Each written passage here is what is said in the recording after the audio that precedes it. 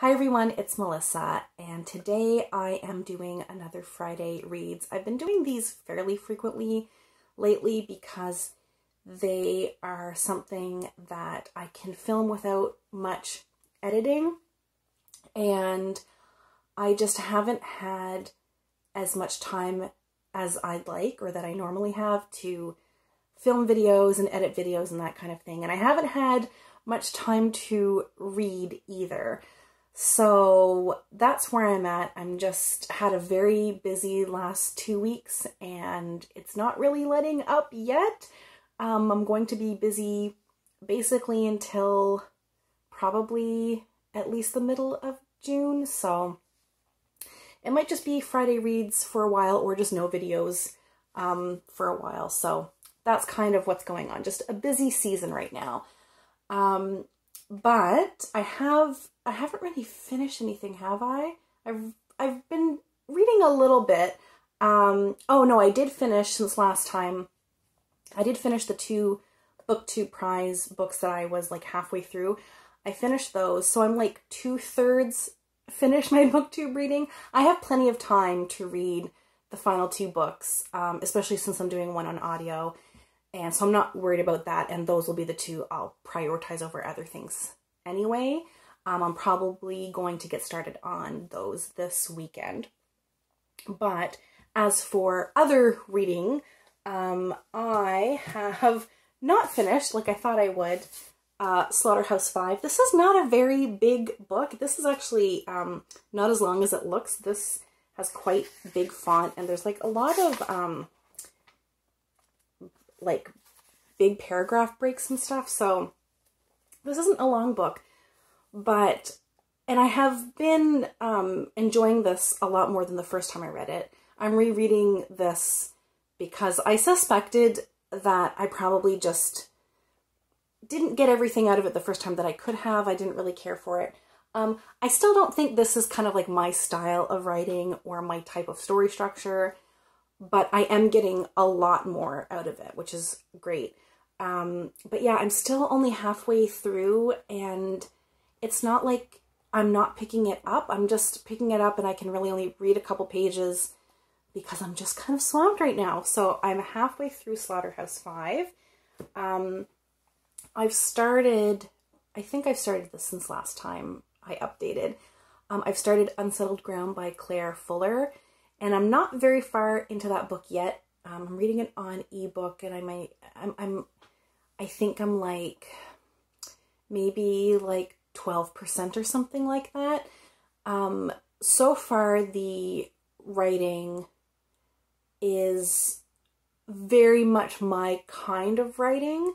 Right from the get go, I could kind of tell that Claire Fuller's writing style is something that just uh, works for me. Um, I haven't really got into the story yet. So remains to be seen what I'll think of the book as a whole.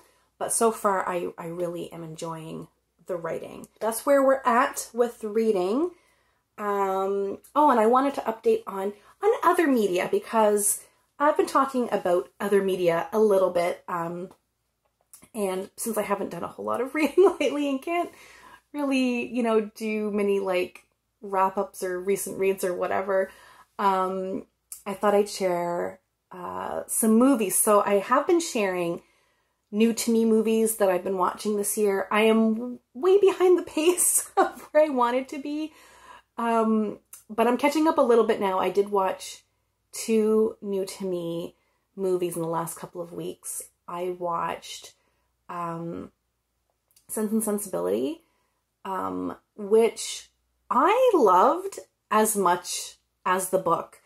Um, I really liked both Emma Thompson and Kate Winslet as the sisters. I think they did those characters justice. Like, I think they did them right. And the things that were changed for the sake of the movie, I think were the right things to change. Um, I think made the story stronger for for that medium. And yeah, that was like a five out of five uh, for me. I just, that's definitely, I think, my favorite Jane Austen adaptation. So, well, I don't know. The Pride and Prejudice mini miniseries is pretty good too. I haven't seen a lot of Jane Austen adaptations. I've only seen like a handful. Um, but yeah, I think that one might be my favorite so far. Anyway, it was a delight. Uh, the other movie, sadly, I I did not, I did not like. Um, it wasn't my choice. I brought my daughter to the library, and she likes to look at their like uh, movie section and pick out movies for family movie night. And so I chose a movie, and I chose Enchanted, which was enchanting. That was a rewatch for me. I've seen it many times. I love it. Um, and she chose Mirror Mirror, um, which she loved. She loved it. And I did not. Um, I did not let my daughter know my true feelings because, you know, we don't want to squash the enthusiasm. We don't want to rain on her parade, but man, if you're not familiar, it's so it's um, Lily Collins as Snow White and uh, I'm blanking on her name, Julia Roberts as the evil stepmother, evil queen. And this is 20, I want to say like a 2013, 2012 film, kind of like around that area, around that time, I mean. And um, it's a, so it's a Snow White kind of like retelling. And they took everything that was fun about Snow White out and then injected a lot of other crap that, uh, and like, Julia Roberts has been great in many movies she's been in.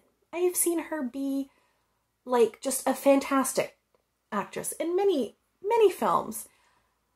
And I don't know, I don't know what happened. The accent was all over the place. Decide if you're going to be American or British. Like, I don't know what was happening there. Well, yes, I do. She probably didn't have enough prep time for like dialect work. But that was a mess. Um, the storyline was like just it was it was weird. It was weird. It was boring. It was way too long.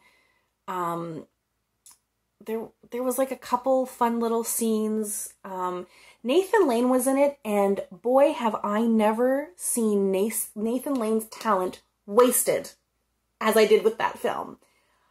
You have Nathan Lane there put him to good use. The one good thing I have to say about that movie is the costumes.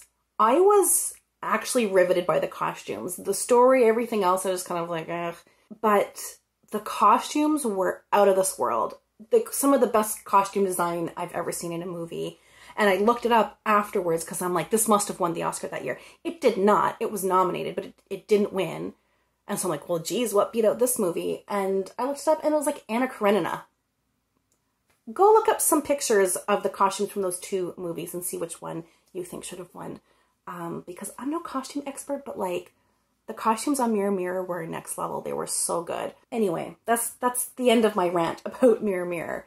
Um, what else? Some music I've been listening to. So I think I've mentioned this before, but like I get earworms very, very easily and I will get on like a kick where I listen to the same album, sometimes the same one or two songs like over and over and over again. And like, I mean on repeat, like I'll listen to them like five times in a row over many days in a row. That's just, I've always been like that. And lately, like very, very recently, I've gotten onto a Radiohead kick. Well, mostly an OK Computer kick. That album, I forgot how good that album is. Um, I like the whole album. There's not a dud on there. Also been listening to their Bond theme for Spectre, which if you don't know the story, actually I'm gonna link some stuff. So I'll link um I'll link some like Radiohead stuff, but I will link that song. So if you don't know that whole story, Radiohead um, were asked to do the Bond theme for Spectre. And they did it, but then when the, I don't know, producers, whoever makes these final decisions, heard the song, they decided, no, we're not going to go that, that route. And they ended up um, commissioning, hiring, contracting, whatever, Sam Smith to do, what was the name of the song? I forget. L listen, Sam Smith, they're a wonderful singer. They've got a gorgeous voice. But that Bond theme um, was really boring, bland. But the, I think the song that Radiohead wrote, they just called Spectre. Um, but they ended up just releasing that sound for free, that sound, that song for free on SoundCloud, I think it was. So it's out there. I will link to their Bond theme, which like starts out really kind of like slow and it builds beautifully. And I thought it was a great Bond theme, and I've been listening to that a lot too. Also, actually, I will link below a video from a channel I really enjoy called, I always forget the channel name though. Listen in, listen up, listen in. Listening in? It might be listening in. Um, but they did a a video about kind of like deconstructing Radiohead's Bond theme and talking about Bond themes in general and kind of like, you know, how Bond scores work and blah blah blah blah. Anyway, um, I will link that video in case you're interested. It's it's like less than ten minutes, I think. It's a pretty short video, but um, they really talk about kind of like the musical structure of Radiohead's song Anyway, I thought that was fascinating, so I will link that as well. So yeah, I think that's everything I've been reading and watching and listening to. Um, so as always, thank you all so much for watching and we'll chat soon. Take care. Bye.